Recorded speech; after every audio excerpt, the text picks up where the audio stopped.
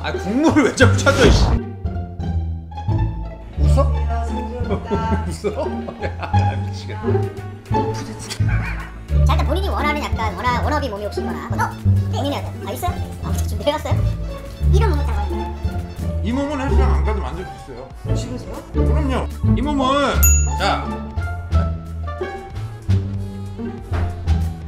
어, 내가 원하는 냄새 아이 너무 좋아 원하는 냄새가 원하는 냄새가 원하는 몸 얘기하고 있는데 왜 원하는 냄새 얘기를 하고 있어?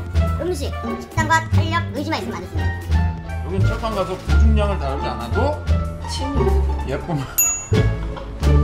거기에 이제 디테일하게 깎아 나가면서 모양을 잡아가는 부대찌개 먹으면서는 이런 몸못 만나 부대찌개 드셔도 돼요. 그 역시 진종. 이래서 종국이 종국이 하는구나. 자 부대찌개 됐어요? 예좀 드려요 드려요. 너무 많이 드리진 말고 오 밥 먹어도 돼요? 보이십니까? 왜 먹방을 하냐? 침이. 아니.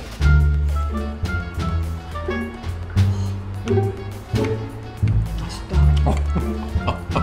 진짜 맛있다. 우와. 건더기. 건더기 많아요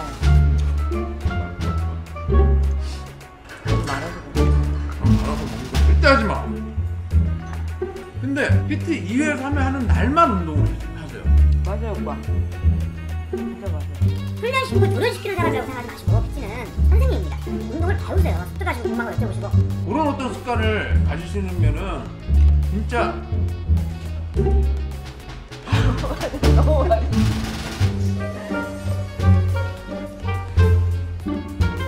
저 PT 전에 부대찌개 먹는 사람 게 처음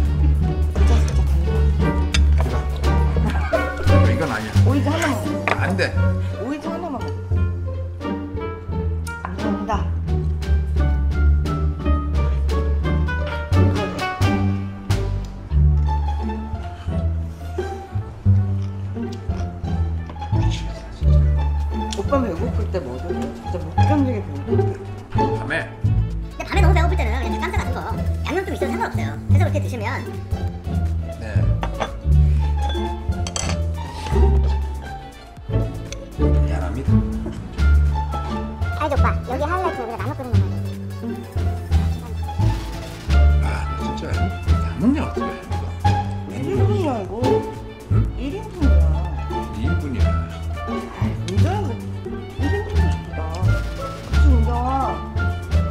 소리지 이거?